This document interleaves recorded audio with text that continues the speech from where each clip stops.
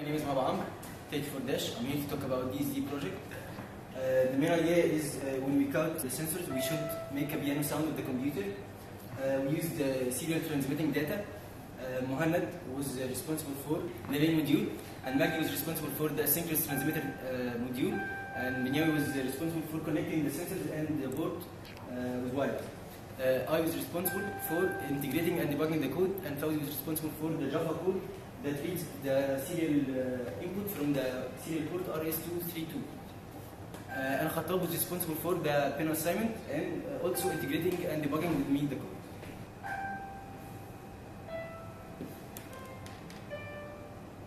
Anyway, uh, 54-1203.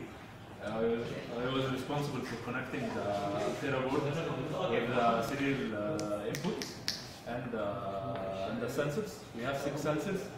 Uh, each sensor uh, represents a tile in the piano. Uh, I connected the, the sensors using cables. Each sensor has three cables. The blue one represents the, the ground, and the brown one is the VCC, 5 volts, and the black wire represents the output to the Altera board. So when, when we pass each uh, sensor, it sends a, sends a signal to Altera board. and, Uh, the Altera board sends serial output to the Java code. Debugging the code. Thank you. I'm Mohammed, the 31 Dash. I was the one responsible for coding the main module, uh, which is the CGPIO.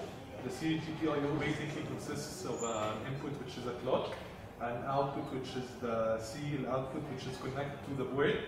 Uh, and there's also the input, uh, which is the six senses.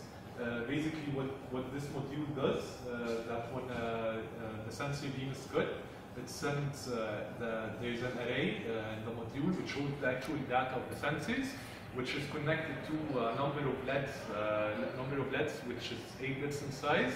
And when one sensor is beam is cut, it holds the data, and then the LED, uh, the LED on the board uh, gets like no.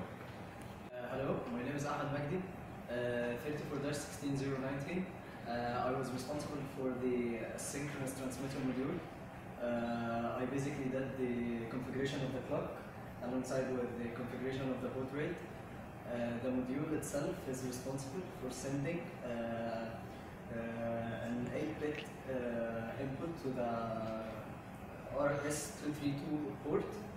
Uh, if the port is not busy, uh, is not uh, is not busy, it starts sending them bit by bit. Thank you. Okay, well I helped out with the part where we connected the trans the, we made the asynchronous transmitter module transmit the output of the FPGA to the laptop and uh, assign the pin assignments of the sensors and the LEDs and uh, connected the variables of the module to the physical parts. Okay, hi, my name, uh, my name is Mohamed Fawzi. I'm Principal Dash. I'm responsible for the Java code. Uh, the Java code basically uh, reads uh, the, the, the serial input from the board from the board to the computer, and it does that by library called uh, javax.comm. Uh, we the, in the main method we read uh, a port named comx, and uh, we read from it uh, the serial number. The serial number is taken, and then we switch on it and uh, check uh, which combination of binary number it is.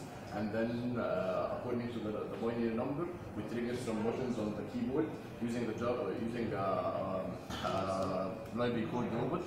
The, right, the library triggers the buttons, and the buttons then triggers the virtual piano. Now I'm gonna try the serial reading. It reads zero from the board because the sensors are off. Now I'm gonna try to put my hand on one of them. Only one sensor is working. It means one. The second, it's two. The third is four. Just like reading binary. Okay, if I put two fingers, now we're sending six. Now seven. Now I'm gonna try the piano.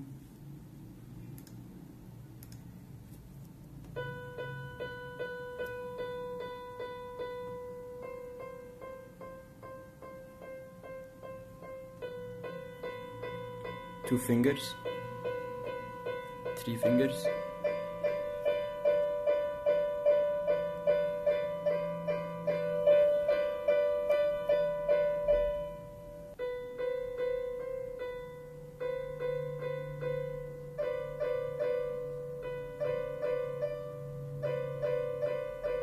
So this is a proof that multi-tiles can be pressed at one time using all. Thanks for watching.